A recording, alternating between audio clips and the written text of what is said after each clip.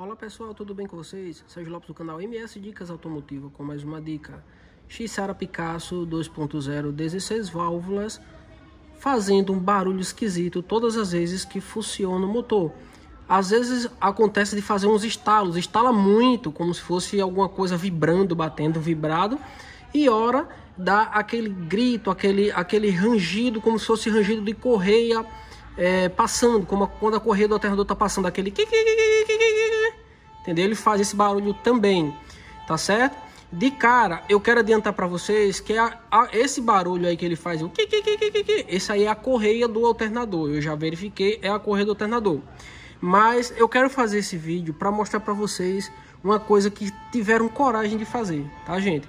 Não dá nem para acreditar que uma pessoa, um profissional ou alguém faz um negócio como esse, faz algo desse tipo. Mas eu vou mostrar para vocês, vou funcionar o motor do carro, para vocês ouvirem o barulho que faz, tá, na correia. Pode ser que ele faça os estalos agora e pode ser que não faça mais, mas tem hora que ele faz muito, estala muito, tem hora que não, não estala. Tem hora que só faz aquele cantado de correia, aquele grito que a correia dá, que a correia quando tá desgastada, quando tá deslizando, quando tá patinando faz, tá certo? É, lembrando o seguinte, no fundo desse do, do áudio aqui eu falando, eu tô fazendo esse vídeo, se vocês escutarem um som aí, é um som de violino, tá? Minha filha tá estudando violino online e aí vai ficar vez em quando aí aparecendo um som de violino no fundo, tá? Mas eu não posso parar de deixar de fazer esse vídeo, perder essa oportunidade de mostrar para vocês é, o problema que esse carro tá e como solucionar. Beleza, gente? Eu vou mostrar o problema e vou dizer o que fazer, tá ok? Então deixa eu funcionar o carro aqui para mostrar para vocês já aqui dentro do carro, vamos funcionar. Tem hora que ele faz muito, tá, tá, pessoal? Principalmente pela manhã, assim que liga o carro, o motor frio, logo pela manhã, é um barulho insuportável, tá certo? Depois que ele funciona, que ele aquece, ele até dá uma melhorada, mas vez em quando ele faz. Assim que no momento que liga, que da parte dele faz também um pouquinho, tá? E se acelerar faz mais ainda. Ó, fez um pouquinho, ó. Deixa o motor voltar. Ouviram aí, pessoal? Ele deu aquele cantado. Então tem hora que ele faz muito isso, muito, muito, muito. E tem hora que quase não faz, tá certo? Agora não tá fazendo, ó. Tá certo? O motor já tá um pouco meio que quente, que eu já tava fazendo alguns testes ali. Mas o fato é que deu para vocês ouvirem aí o barulho que faz. Tá certo? Agora eu vou lá na frente é, para mostrar para vocês algo que me surpreendeu muito, algo que, cara, é, é, eu não sei realmente como é que a pessoa faz um negócio desse. Eu vou lá mostrar para vocês, para vocês verem o que é que tô falando. Já aqui na frente do carro, pessoal, não vai dar para mostrar por aqui. Eu vou, eu acho melhor eu levantar. Eu vou levantar o carro, tá, para poder mostrar para vocês, tá certo? Aqui pelo menos vocês estão vendo aqui a motorização desse carro, tá? Ele, eu ando desse carro aqui é 2003, 2004, tá? Um Xara Picasso 2.0, 16 válvulas, 2003, 2004. Vou levantar ele aqui para ficar melhor para mostrar para vocês. Pronto, pessoal, já aqui embaixo fica melhor para mostrar para vocês. Gente, o carrinho tá maltratadinho, rapaz, bichinho, pessoal. Olha como é que tá a situação desse carro. Muito maltratado, muito mesmo, tá? Gente, mas o problema aqui, o que é que é? Gente, a situação dessa correia. Super folgada, muito, muito, muito folgada mesmo, tá certo, pessoal? O que, que acontece? Aí você pode dizer, Sérgio, o problema aí é do tensor, o tensor está sem pressão, tá? O tensor da, da correia não tem mais pressão, por isso que ela está fazendo isso. Não é, tá pessoal? Eu já testei aqui o tensor e inclusive ele está com muita pressão, tá? Só que ele já chegou no final e não aperta a correia. Ó, eu estou colocando aqui força, muita força, tá? Para poder, ó, fazer esse, esse jogo aqui, ó. Tá? Tô colocando força aqui, ó. Certo? Então tem o tensor aqui, ele chegou no final, pessoal. Ele topou no final e não consegue apertar a correia. Por quê? A correia é muito grande, tá, pessoal? Essa correia não é desse carro, tá? Não é desse carro. Perceba na parte de cima ali, quando eu mexo aqui embaixo, ó. A correia aqui se mexendo aqui, ó. Se movimentando, ó. Tá vendo? A correia super folgada. Deixa eu mostrar aqui a medida dessa correia. Deixa eu ver se eu consigo pegar. Tá bem apagadinho já. Mas eu acho que vai dar pra pegar. Pronto, deu, ó. 6PK 1750. Essa correia aqui é da Ford. Dá até pra ver aqui a marca Ford, ó. Tá vendo, ó? 6PK 1750. Isso aqui é da... Eu, se eu não estou enganado, se eu não estou enganado, é da linha Zetec Rocan. Ford Fiesta, Ford K, Ford EcoSport, 1.0, 1.6. Se eu não estou enganado, eu posso estar errado, tá, pessoal? Então, o que é que acontece? O que pode ter acontecido aqui?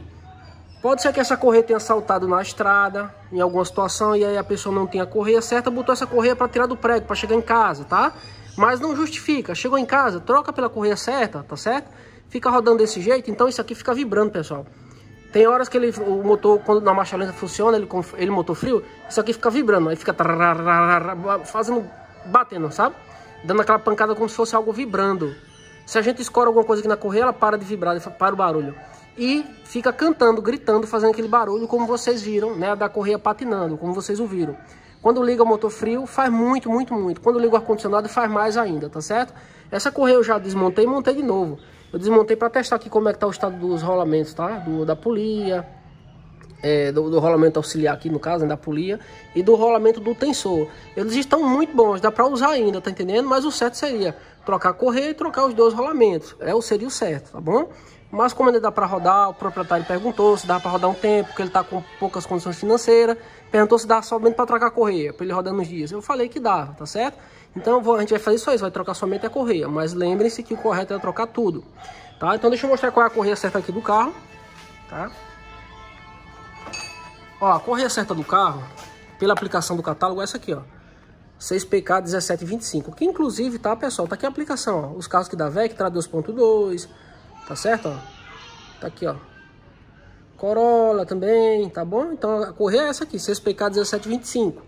A gente vai estar tá usando a correia da marca Gates, é uma marca muito boa, Gates, tá certo? Tá saindo agora nos carros linha de montagem, de fábrica, tá? Então é uma correia assim, original, vamos dizer assim, tá certo? Então eu vou estar tá montando e em seguida eu vou mostrar pra vocês aqui, ó, que isso aqui não vai ter mais não. E depois a gente vai funcionar o motor pra vocês verem que parou de gritar, de cantar também, tá certo?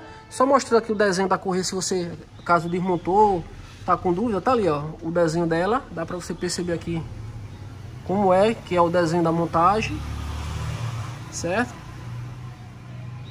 Se caso ficou dúvida, tá bom? Eu não vou mostrar passo a passo eu montando aqui, mas é muito simples, só fez esse mesmo desenho aqui, certo? E fogou o tensor para cá no sentido anti-horário, montou a correia, tá montada a correia no lugar, tá certo?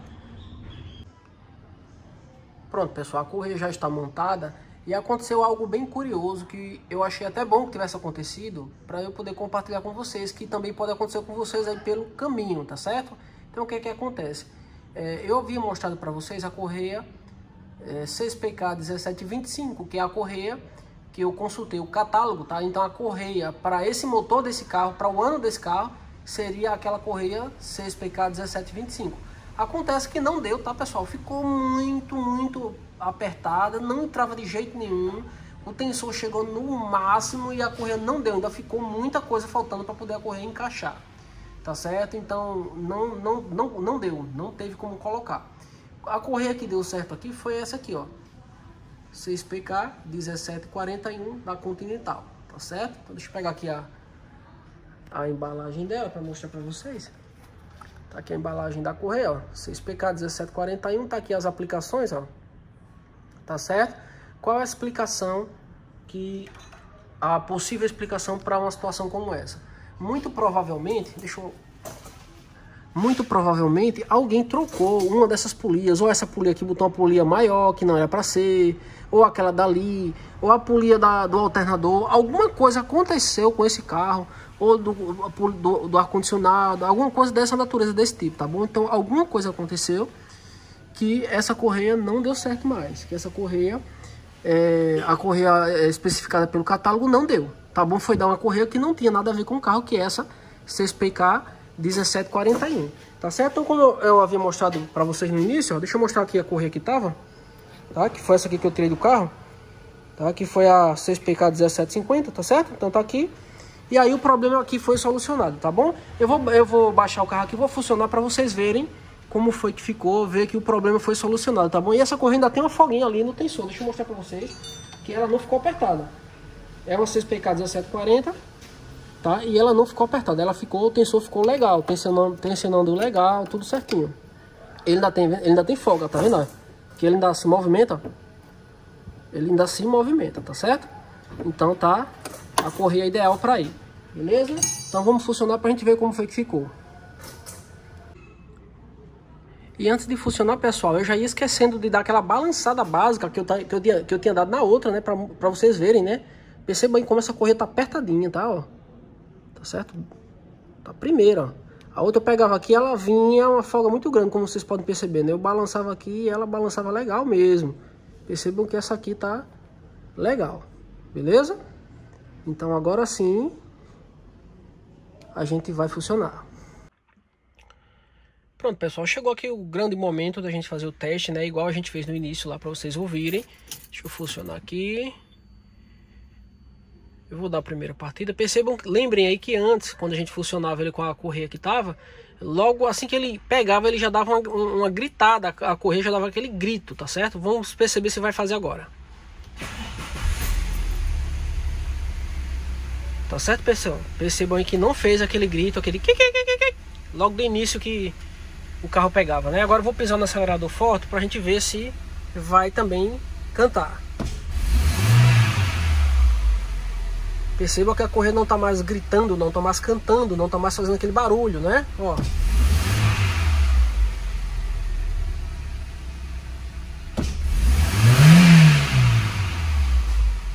Tá certo, pessoal? Então aí o problema foi solucionado, certo? Problema resolvido, serviço executado aí com sucesso.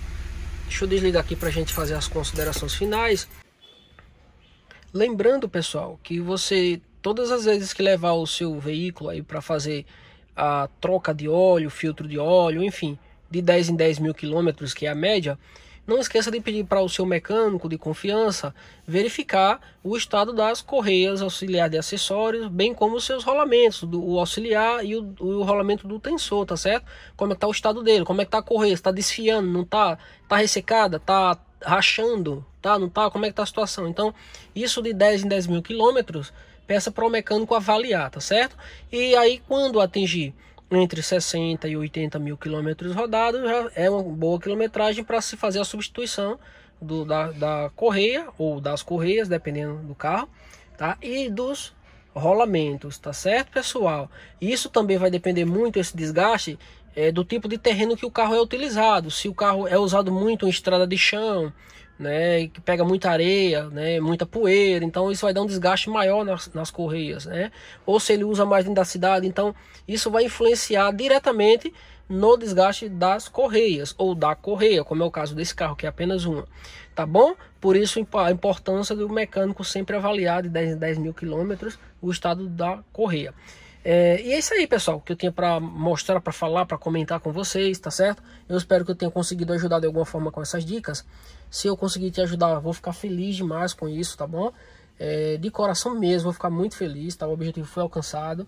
Se você foi ajudado, se você gostou desse vídeo, por gentileza, deixa seu like. Pra gente é importantíssimo demais, tá? O like de vocês, pessoal, é o que mantém esse canal vivo, é o que mantém a gente motivado para continuar o nosso trabalho, tá certo? Então, por gentileza, deixa seu like aí. A gente ajuda com as dicas, você ajuda com o like. Se você é novo aí no canal, por gentileza, se inscreve no canal também, tá certo? Ativa aí o sininho das notificações para o YouTube te avisar todas as vezes que a gente postar um vídeo novo.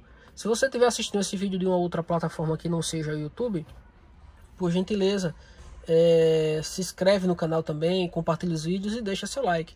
Beleza, pessoal? Não esquecendo, na, na descrição desse vídeo também tem um link de curso, de um curso de mecânica é, de automóveis para iniciante. Se você tiver interesse, clica lá para conhecer sem compromisso e ver se é para você, beleza? Mais uma vez, meu muito obrigado, um forte abraço, fiquem com Deus e até o próximo vídeo do canal MS Dicas Automotiva.